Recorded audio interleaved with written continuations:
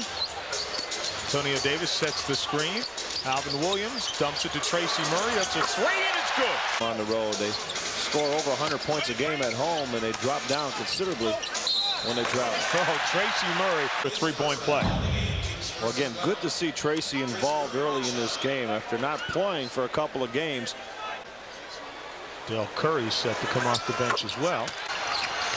To Oakley. Back to Vince Carter. Tracy Murray. That's a three. Good. that would have been a circus play. I'll tell you what, John, that just shows the great hands of Keon Clark. It wouldn't have been a bad idea to just come down with it. Tracy. Oh, absolutely. How can you not like it? Just works real hard and makes those big plays. It's all hustle. Divac says Oakley trying to swing it, but Tracy Murray got in there. Up in the NBA. Yeah, and they, they understand their roles coming in off the bench. React to the defense, make the nice move on the curl, and then get that. You see the numbers. Tracy Murray all on his own, but listen to these numbers. Oakley for the win.